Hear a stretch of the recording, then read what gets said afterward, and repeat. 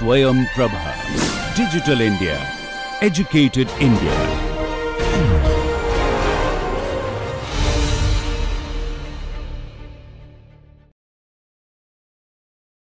a logical and uh, systematic approach to solving organic chemistry problems for CSIR net. In the module 10, we will be looking at organic reaction mechanisms involving substitution reactions with electrophilic, nucleophilic or radical species. I am Professor Balaji, currently working at Jawaharlal Nehru University. This project is sponsored by DTH Swayamprabha, MHRD, New Delhi. So, in this particular session, we will be looking at various organic reaction mechanisms involving substitution reactions with electrophilic, nucleophilic or radical species. Let us look at the first problem. So, this problem appeared in 2019, December 2019. So, identify the product formed in the following reaction. A starting material is given. So, we have a iodo derivative, a nitroiodo derivative with uh, a good leaving group that is OTS and this is treated with uh, PHSNA and DMF as a solvent and uh, we have to find out what is the product formed in this particular reaction. So, we have four different uh, products are given as an option A, B, C, D. In the first one we have uh, the OTS is replaced by SPH group. And in the second one also the OTS group is replaced by SPH the difference between the first one and the second option is only the change in the stereochemistry of the product that is formed. And in the third one the iodo group is replaced by the SPH group and in the fourth one the nitro group is replaced by the SPH. So, these are all the four different uh, types of product that may be formed in this particular reaction. These are given as the option. We have to find out what is the actual product that will be formed. So, let us look at uh, how the reaction will proceed. This reaction is basically a SN2 reaction. So, here we have a nucleophile that is the PHS is the nucleophile that will be involved in this particular reaction. So, this is Na plus and uh, PHS minus. So, thiolate anion. So, the thiolate anion can easily attack uh, the carbon atom that is the benzylic carbon is the one that is being attacked by the thiolate anion So, as uh, this reaction is a SN2 attack that means inversion of the stereochemistry that will happen. So, in other words if it is uh, pointing above then the product is going to be formed as a pointing below. So, that is what is actually going to happen. So, when we look at that uh, the stereochemistry is the inversion at the reaction center. So, the final product formed will be this one because the thiolate anion cannot displace the aromatic or the nuclear uh, substituted groups. So, in other words the iodine cannot be replaced similarly the nitro group can also be uh, cannot be replaced by the thiolate anion. Let us move on to the next problem. So, this problem appeared in December 2011. So, here the major product formed in the following reaction a chloroanisole derivative is given. This is treated with sodamide in the presence of liquid ammonia we have four different product that will be formed. Uh, we can say this is A, B, C and D. So, in the first one the chlorine uh, is replaced and the methoxy is also replaced. In the second one only the chlorine is replaced by the amide unit and in the third one both uh, that OMe group and the chloro group is uh, replaced with uh, amino NH2 group, but the positions are different and in the fourth one both the OMe and the chloro are uh, replaced but uh, uh, by the NH2 group. So, these are all the four different type of product that will be formed as given in the options A and B and C and D. So, we have to find it out what is the correct product that will be formed in this reaction. So, this reaction basically follows a Arrhenius mechanism. So, uh, this is basically the elimination addition mechanism in this particular case. The base that is the NH2 minus that amide anion abstracts the ortho proton to the halogen unit. So, when this hydrogen atom is uh, replaced we end up with, uh, with the concomitant removal of the chloride anion also that leads to the formation of the benzyne or the arene type intermediate. So, this arene intermediate can be attacked by the NH2 unit that is the NH2 minus uh, anion either on this carbon or on this carbon. So, we have two options that are possible. So, if it attacks uh, ortho to the methoxy unit, we end up with this particular product. If it attacks the metacarbon with respect to the anisole or the methoxy uh, ether, we end up with this product that is a meta derivative. So, there are two possibilities that can happen or occur in this particular reaction. So, here we have to find out what is the major product. Of course, both the products will be formed in this particular case, but the orthoisomer will be formed at around 40 percent and the meta isomer will be formed in 60 percent yield. So, in other words what we can say is the meta isomer is the major product that will be formed in this reaction. Of course, the ortho product will also be formed in this reaction. So, we have both the product ortho and the meta product that will be formed in this reaction. So, this reaction proceeds via the aryne intermediate. So, this is happening through the elimination addition mechanism. In the first step, the elimination takes place, the elimination of the Cl minus takes place and in the second step addition of the second nucleophile that is the NH2 minus takes place. So, this is the overall mechanism for this reaction and this reaction is basically called as the cine substitution. So, what is the cine substitution? In the cine substitution one nucleophilic unit in the aromatic ring is replaced by another nucleophilic unit, but the incoming nucleophilic unit occupies a place which is uh, different from the place where the nucleophile already left. So, here chlorine leaves from a place which is ortho to the methoxy unit and the second incoming nucleophile attaches itself to the meta position as the major product. So, here what we say is we also have the same place where the chlorine is replaced by the nucleophile that also occurs but uh, since the majority of the product formed is the cine substitute uh, adjacent to the chlorine group. So, we call this as a cine substitution or so let us move on to the next problem. So, this problem appeared in June 2011. So, the major product formed in this following reaction is here an epoxide is given and similar to the first case what we have seen we have a thiolate anion. So, basically the thiolate anion opens up this epoxide ring. So, we have various combination of the product that will be formed A, B, C and D. So, in the product A the epoxide oxygen retains its uh, stereochemistry. So, this is above the plane and uh, that is also retained in the final product.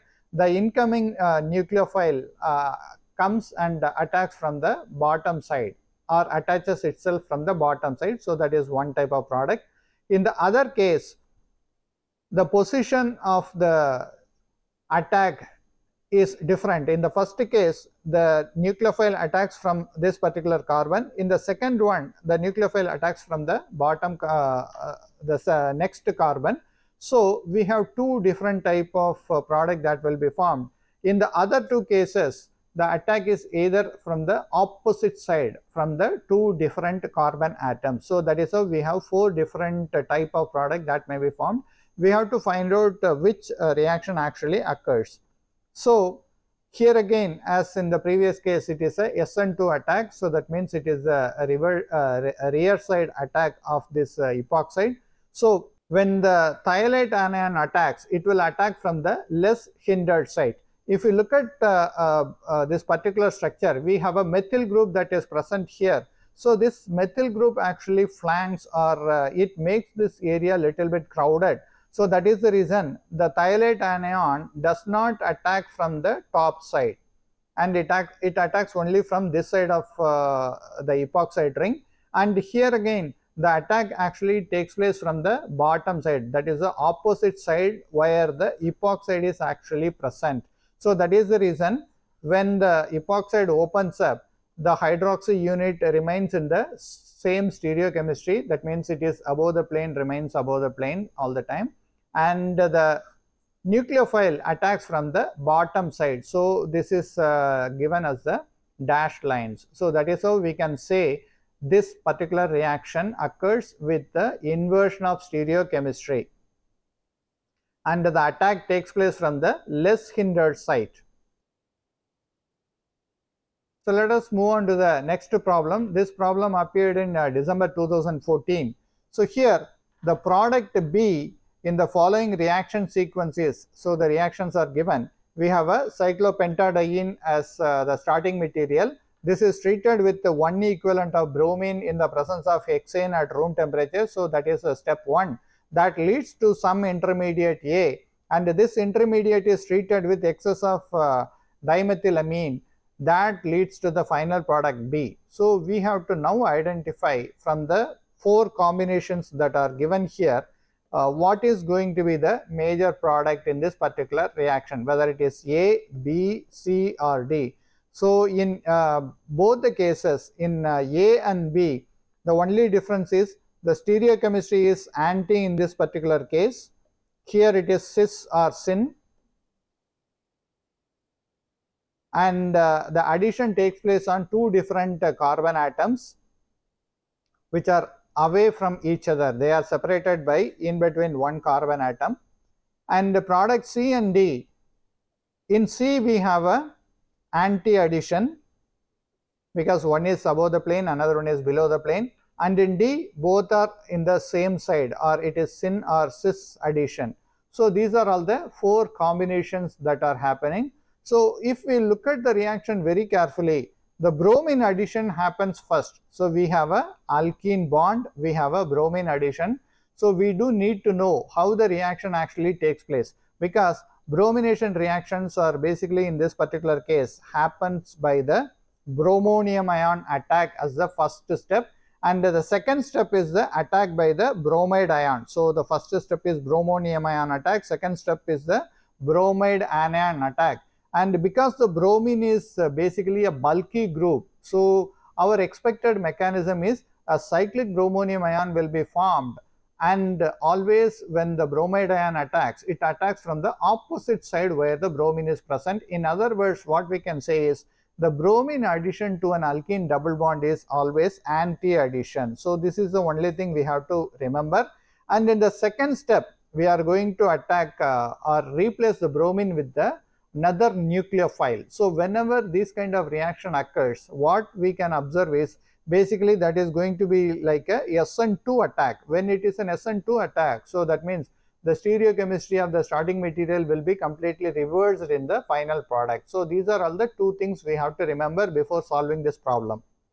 So, now if we look at uh, how the reaction actually proceeds. So, let us look at one of the double bond that is brominated. So, we end up with the anti-addition because as we have uh, discussed now, the bromine addition always takes place as an anti-addition because this uh, intermediate that is involved is bromonium ion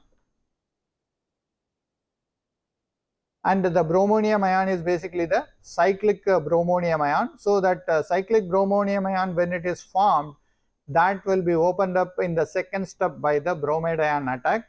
So, we have a bond here, we have bromine here and uh, this will be having a positive charge. So, when we draw the structure, so the second bromide ion can attack from any one of the carbon. So, it has to attack only from the opposite side. So, that is how we say and when it attacks from the opposite side we end up with the anti product or the trans product will be formed and here if you look at the stereochemistry one of the bromine is above the plane and another one is below the plane and the next step is the SN2 attack by the dimethylamine. So, when the dimethylamine attacks this one, so what we end up is the stereochemistry of the top carbon is replaced uh, is changed to the other side. Similarly, the bottom carbon stereochemistry is inverted. So, this is how the reaction actually proceeds and uh, what we can say is the last step is the inversion of stereochemistry takes place. So, the overall product that will be formed is uh, the two um, substituted groups will be present ortho to or adjacent to each other. So, let us move on to the next uh, problem. So, this problem appeared in December 2016. So, here the major product formed in the dinitration of 4-bromotoluene is. So, uh, the 4-bromotoluene is nitrated but not mononitration, it is a dinitration. So, we have to find out what is going to be the product. So, we have 4 products A, B, C and D. So, in the A we have uh, two nitro groups that are present uh, meta to each other. In the product B, we have two nitro groups which are present uh, ortho to each other and in product C, we have two nitro groups that are present meta to each other and in the fourth one, we have two nitro group that is present para to each other.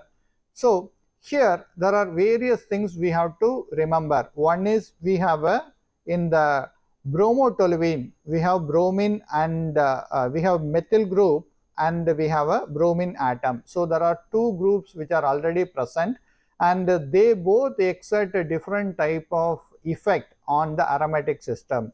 So, the incoming electrophile because when we talk about nitration, the nitration occurs by the nitronium ion addition.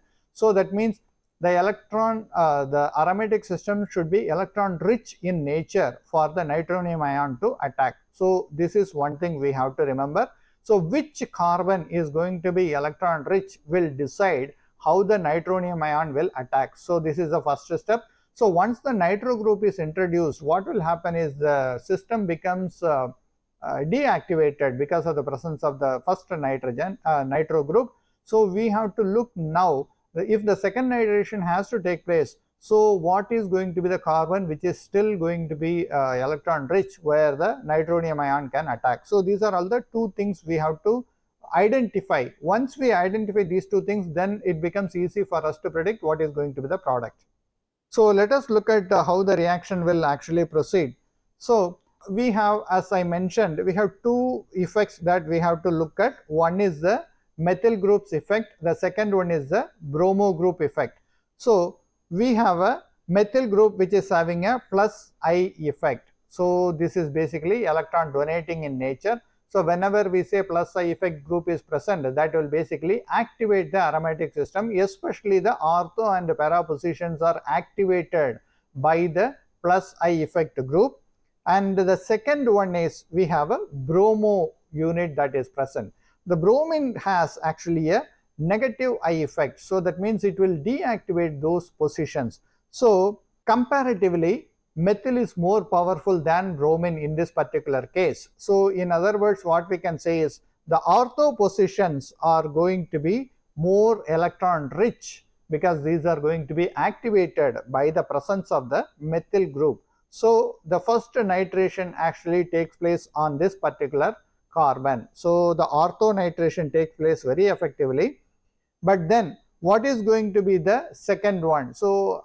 here the most uh, challenging thing for us to understand is whenever there is a nitro group is present, what the nitro group will do is this will actually deactivate the aromatic ring. So, in other words the electron density at certain places becomes uh, more uh, less compared to the other because depletion of electron density is more pronounced than increase of electron density. So, when a nitro group is present, we always look for the carbon which is less affected compared to the more affected carbon. So, that way if we can easily identify which place will be more affected because when it affects what happens is nitro group is electron withdrawing in nature.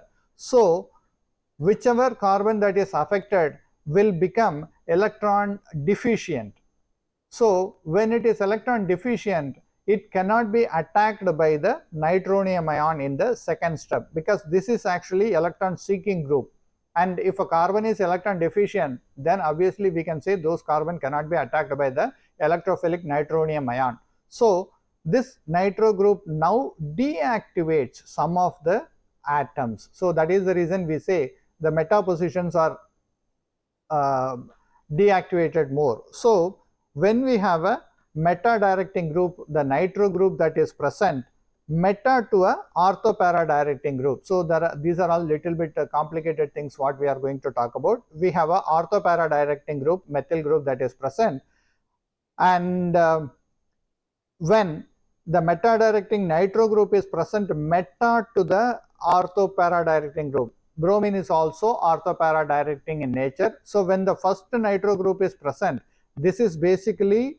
present meta to this particular orthopara directing group. So in that particular case, then the electrophile, incoming electrophile goes ortho position with respect to the nitro group. So here we can say both methyl and the bromine both are orthopara directing groups. So that's the reason we can say uh, what is going to be the place where the nitro group will come.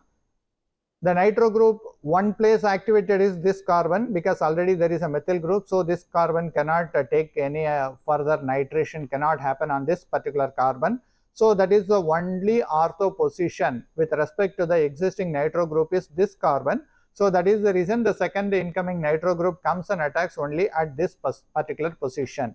So this is how we can say the second nitro group actually directs the incoming uh, nitro group to ortho position with respect to the place where it is actually present.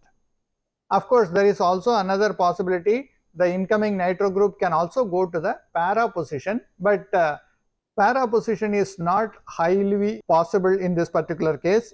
That's the reason ortho substitution takes place very effectively. So the final product is going to be formed as shown here.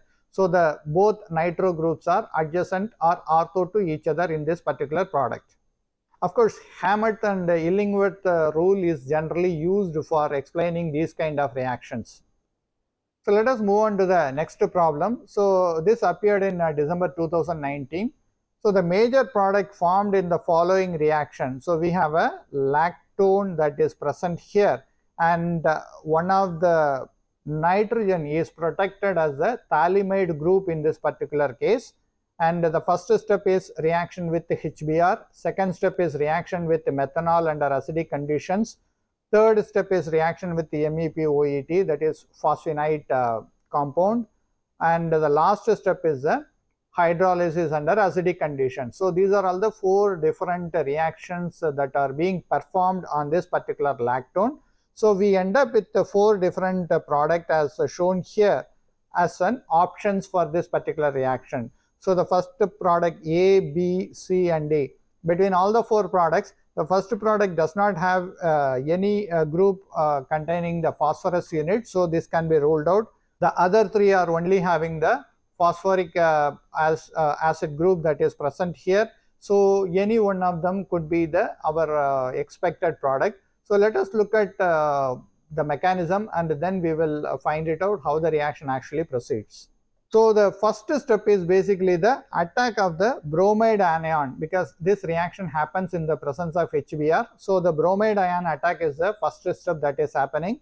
This is the electrophilic carbon. So the electrophilic carbon is attacked by the bromide anion uh, with uh, the negative oxygen pulling out the pi bond at the electron to become a negatively charged anion and we end up with the tetrahedral intermediate as shown here. So, this is the first step that is happening and once the tetrahedral intermediate is formed since there is a negative charge on the oxygen atom charge reversal takes place as the second one. So, when the charge reversal takes place this actually opens up the lactone ring and we end up with a acyl bromide with the oxide anion. So this is how the ring actually opens up by the attack of the bromide anion. So once the attacks takes place, what is going to be the next step is basically the second step is during this process itself, uh, the reaction actually undergoes hydrolysis because the acyl bromides are quite unstable. So under the reaction conditions because HBr uh, is uh, carried out, HBr reaction is carried out under acidic uh, aqueous conditions. So the bromide ion gets hydrolyzed very quickly to the carboxylic acid and this oxide anion also becomes a hydroxy derivative. So we end up with the hydroxy acid as shown here. So what is the next step? The next step is treatment with methanol in the presence of acidic conditions. So the carboxylic acid is getting converted to the corresponding ester unit. So this is what uh, the reaction, the second uh, step of this reaction is reaction with the methanol in the presence of acidic conditions that leads to the corresponding ester. The hydroxy ester is formed. So once the hydroxy ester is formed, what is the next step? So the next step is the reaction with methyl phosphonate uh, reaction. So when the methyl phosphonate reaction occurs, this hydroxy group is lost and here the phosphorus unit is uh, attached to this particular substrate and we end up with the phosphonic acid as shown here. So once the phosphonic acid is formed, what is going to be the next step? This is undergoing the last step that is the hydrolysis under acidic condition. So when the hydrolysis happens, what happens is in this particular case, the phthalimide unit is actually hydrolyzed under acidic conditions. So what we end up is basically this uh, this is the protection that is used for the amino group protection. So the amino group is liberated during the, the phthalimide uh, deprotection happens under acidic conditions. So we end up with the amino group. So when we have the amino group, this ester also undergoes hydrolysis under this particular uh, acidic conditions. So what we end up with is uh, basically the corresponding amino acid is formed with the phosphonic acid unit that is present here. So this is the overall reaction that is happening in this particular case. Let us move on to the next problem. So this problem appeared in uh, June 2014. So only two products are obtained in the following reaction sequence. The structure of the product from the list 1 and 4 are. Here we have four different combinations. This is a alpha beta unsaturated carbonyl compound. This is treated with sodamide and uh, dibromoethane is also 1 2 dibromoethane is also used in the uh, one of the steps. So we are uh, supposed to get uh, four different products that are shown here. The first and second products are basically a cyclopropyl derivative with the carbonyl unit and uh, third and four are alkenic compounds with the carbonyl unit. So these are all the two different combinations that are possible and uh, the product that will be formed may be 1 and 2 or 2 and 4, 1 and 3 and 3 and 4. So these are all the various uh, permutation combinations are possible. So we have to identify how the reaction actually proceeds and what are the two products that can exist as a final product in this particular reaction. So let us look at uh, how the reaction actually proceeds. So we have a amide anion that is involved in this reaction. So the amide anion abstracts one of the methyl proton from this particular carbon atom. So that leads to the anion formation. So this is a very simple step which you are already familiar with. So once the anion is formed, what is going to be the next step? The next step is reaction with the 1,2 dibromoethane. So when the 1,2 dibromoethane is added, the shift of uh, double bond, uh, the negative charge happens and this alkyl unit, actually this uh, alkenic carbon attacks this particular 1,2-dibromoethane with the concomitant loss of the bromide anion. So this is nothing but the SN2 attack of this particular negative charge. Now you will be wondering whether this anion directly attacks or this alkenic bond that attacks. So as in organic chemistry, we always say there is uh, various uh, reactions which will be occurring simultaneously and uh, many of these reactions are basically considered as uh, microscopic reversible reactions. In other words, all these reactions are happening are occurring in equilibrium with uh, each step. So the thermodynamically stable product will be formed in most of the cases after certain time. But in the beginning stage, both the products or both the probabilities exist in those kind of reactions. So that is the reason many times organic reactions give uh, comparatively less yield simply because there are various competitive reactions that are occurring and the stability or the thermodynamic stability of the formed intermediate decides which path will be more uh, happening that is what we can say. So in other words what we can say is this carbanion directly attacking this particular 1,2-dibromoethane is also possible. The second the carbanion's ne negative charge can be shifted towards between the carbon and carbon bond and this alkenic uh, carbon can also attack this uh, 1,2-dibromoethane. So both are possible and according to the stability what we can say is this alkenic carbon attacking this particular um, 1,2-dibromethane is the most favorable one. So, then that leads to the condensation of uh, or addition of this particular uh, unit to the alpha carbon of uh, the carbonyl compound. So, we end up with the exocyclic double bond in this particular case. So, once this happens, what is going to be the next step? So, in the next step, we still have the amide anion that is present in the system. So, this amide anion abstract the most acidic proton. So, we have two different type of acidic proton that is present. One is the methine proton uh, present here at the substituted carbon. Another one is a methylene proton that is present alpha to the carbonyl compound. So, this proton is more acidic compared to this uh, hydrogen atom. So, that is the reason the amide anion abstract this proton leading to the carbanion on this particular carbon. So, once a carbanion is formed in this particular carbon, what it can do is this carbanion can attack this particular carbon by an SN2 type attack. So, this leads to the formation of a cyclopropyl derivative and this internal attack of the carbanion is a crucial step for the formation of the cyclopropyl unit so, once the cyclopropyl unit is formed, then this is one of the product that is uh, we are expecting and this can undergo a resonance with another uh, compound. So, that is what is shown here. So, one of the hydrogen which is shifted from here where the alkenic uh, bond becomes a methyl unit. So, that is how we end up with uh, the alkene from the exocyclic double bond is shifted to the ring system. So, these are uh, in resonance to each other. So, that is the reason what we can say in this particular reaction. These are all the two products that will be formed in this particular reaction. We only have the cyclopropyl unit. Uh, this is again a bicyclic system, but uh, these two are in uh, uh, spiro ring system so, here we have the spirocarbon that is present here. So, this spiro ring system formed not the other one. So, that is how we can say in this particular case these two are the resonant uh, stabilized compounds that will be formed.